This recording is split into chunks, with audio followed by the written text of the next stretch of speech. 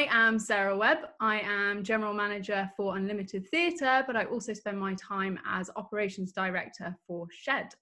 Um, I uh, most of the time I'm behind the scenes doing the administrative work, but I was involved with Shed from the very beginning, uh, moving moving panels, uh, rolling tires, and and all the works. My favorite thing about Shed is it is a conversation starter. So, more than ever right now, we need to be speaking to each other, and Shed does that. It does it for friends, it does it for strangers, it does it for communities. We start conversations between industries uh, and schools and, anyone, anyone and everyone. Um, and by voting for Shed, you will give us that national boost to start conversations between more people for more people.